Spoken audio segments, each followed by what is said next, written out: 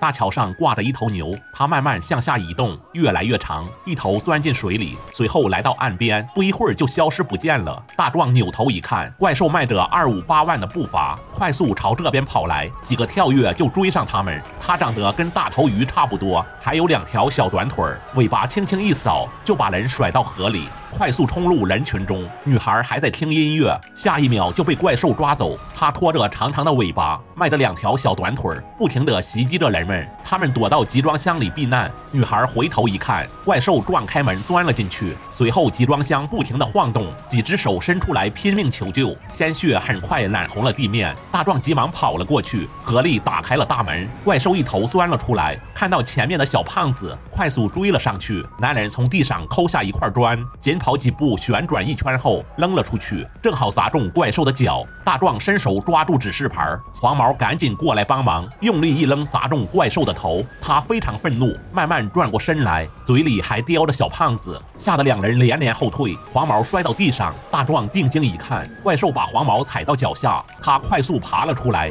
捡起地上的指示牌，用力砸中怪兽的脚。他疼得一声嘶吼，扭过头来看向大壮，吓得他转身就跑，可回头望。望向怪兽时，脸上露出绝望的表情。女儿正傻傻地站在原地。怪兽尾巴一甩，卷起女孩跑到河边，双手一用力，跳到空中，一头钻入河里，快速游向河对岸。大壮紧跟着跳了下去。抬眼望去，怪兽正在清点战利品，然后卷起女孩，慢慢潜入水中，消失不见了。他来到排污口，一步步爬了上去，把猎物带回老巢，用尾巴卷住，慢慢扔了下去。仔细一看，这里的食物还。不不少，而女孩正躲在下水道中。她拉开男人的衣服，拿出手机给老爸打了个电话。大壮接到电话后，知道女儿还没死，可刚说了两句，手机就没电了。他把消息告诉佛伯勒，可他们根本不相信。没办法，只能自己去找。可找了半天都没发现女儿。与此同时，大桥下伸出一条长长的尾巴，来了个后空翻，抓住铁架后又翻了一个。两人急忙向前跑去，可怪兽紧追不放，没一会儿就追了上来。把两人放到老巢后就离开了。小美摇了几下，没一会儿男孩就醒了过来。大壮他们回家吃点东西，突然老爸看到了什么，仔细一看，怪兽就在家门口。他拿起 AK，慢慢伸了出去，一枪打中怪兽。没想到他快速冲了过来，死死顶住集装箱，挖开瓷砖，脚下一用力，集装箱就翻了个跟头。老爷子举起 AK 就是一枪，怪兽一声惨叫摔到地上。他们爬出来查看情况，怪兽躺在地上。一动不动，小弟举枪就射，怪兽一个机灵站了起来，向前跑去。他们边追边开枪，可怪兽奔跑速度太快，没一会儿就来到大桥下，抓住柱子，快速爬了上去，尾巴缠住桥梁。他们急忙开枪射击，一枪都没打中，而他们的子弹都打光了。怪兽趁此机会露出身子，一头钻进了水里。老爸接过大壮的枪，想跟怪兽决一死战。没一会儿，怪兽就钻了出来。老爸举起枪，扣动扳机，发现没子弹了。他挥手跟家人告别。怪兽用尾巴缠住他的脚，用力一甩，扔了出去。随后，怪兽一个后空翻，跳到水里不见了。小美悄悄走了出来，发现怪兽正在睡觉。她拿起可乐，用力扔了过去。怪兽睡得很死，她紧跑几步，踩着怪兽的背，用力一跳，抓住绳子，刚想往上爬，突然松开了手。原来他被尾巴缠住。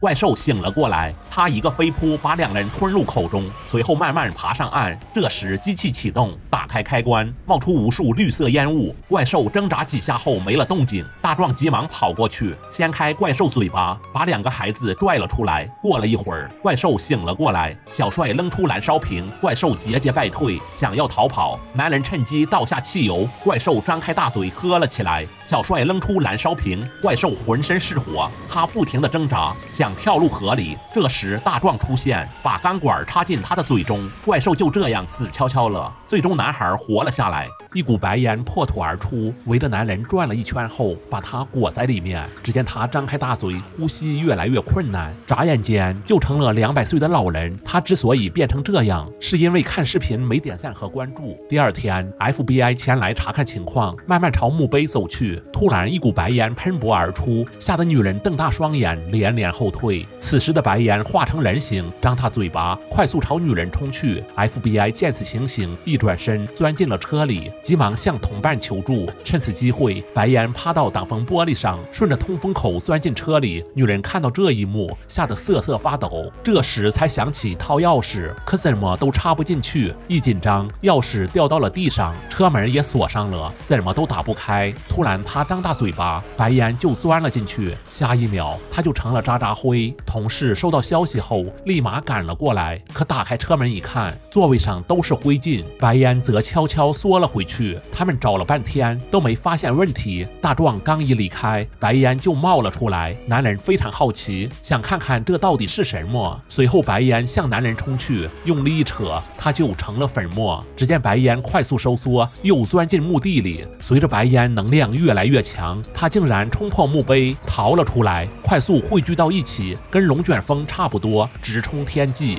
从远处望去，空中就多了一团蘑菇云。到了晚上，蘑菇云中冒出一股白烟，朝下方的警车冲去。突然，喇叭里传来咔咔声，显示器数字不断跳动。大壮向外一看，白烟正好冲了下来，想往车里钻。他一脚油门踩到底，急忙倒车，这才逃过一劫。白烟这才缩了回去。随后就发生了大规模停电事件。男人出来查看什么情况，却没发现白烟正向他袭来，射出一道光后，将男人的精华吸走，他就成了渣渣灰，地上只留下一双鞋子。为了对付魔顾云，他们调来消防车，往里面倒入食盐，然后举起喷头，对准了白色烟雾。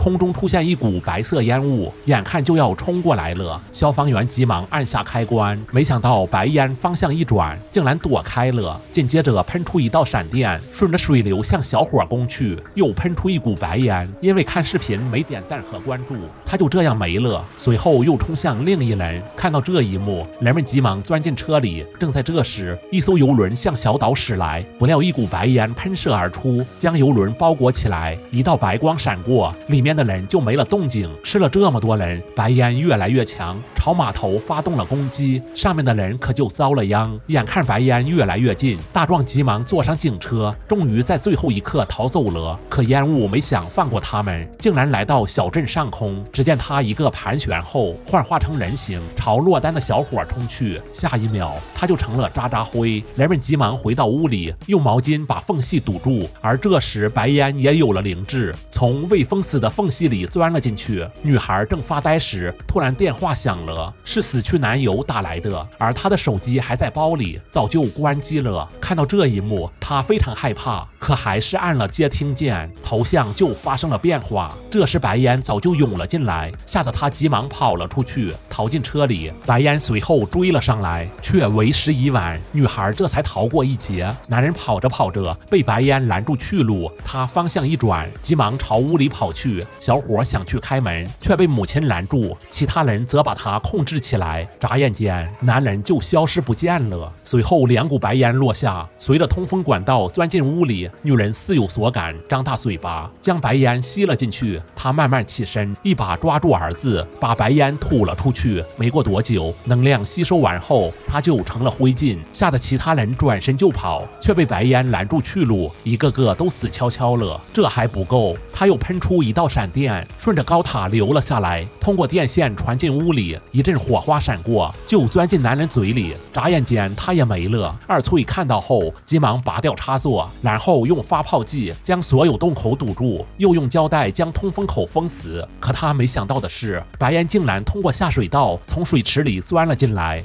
一股白烟从水池里钻了出来。等女人贴完胶带后，发现屋里到处都是白烟，这可把她吓坏了。眼看烟雾越来越近，还幻化成了人形，她非常害怕，急忙拿起旁边的灭火器，对准白烟就是一顿猛呲。因为她看视频点了赞和关注，白烟就慢慢退了出去。难道这玩意儿怕灭火器？她紧跑几步，急忙将水池堵住。另一边，小美开车时，突然前面出现一股白烟，她急忙往后。后到，而后面也被拦住去路，他们只好下车向教堂跑去。白烟围着教堂不停地旋转，显然不想放过里面的人。他们急忙把门窗封死。正在这时，手机铃声响起，男人刚按下接听键，顿时从里面射出一股白烟，他就这样没了。随后，人们的手机都响了起来，这次谁都没敢接。神父刚想出去阻止，下一秒，白烟从插座里钻了进来，将神父吞没了，吓得人们纷纷向外跑，跑得慢的就成了。渣渣灰。同时还要小心白烟的袭击。小美非常担心女儿，往家跑时被白烟盯上了，幸好二翠及时打开了。门，白烟还想从缝隙里钻进去，结果二翠拿起灭火器就是一顿喷，白烟这才不甘的走了。大壮跑着跑着被小帅一把拽入车里，他之所以坚持到现在，是因为手里有个护身符，只有他才能将白烟再次封印。可他们走着走走着，白烟突然来袭，小帅自知跑不掉了，把护身符扔给了大壮，自己则被白烟吞没。随后白烟方向一转，朝大壮扑去，眨眼间他就被白烟覆盖。可下一秒，护身符冒出一阵亮光，白烟方向一转就逃走了。等他来到家后，迎接他的则是灭火器。他们经过分析后，决定把白烟引入地下，再用护身符封印起来，然后找来足够长的电线，用热气球把电线带入空中。大壮拎着灭火器走了出去，眼看白烟扑了过来，他打开灭火器就是一顿猛呲，随后边战边退，来到信号塔底下，眼看白烟越来越近，他把夹子夹到铁架上，下一秒，白烟顺着电线涌了过来，大壮强忍着几万伏高压的冲击，就是不松手。等白烟都引入地下后，他趴在地上没了动静，两人急忙跑过去查看，幸好他还活着。随后把护身符放到底座上，白烟又被重新封印，天空这才恢复平静。毛毛电影带你走进电影人生。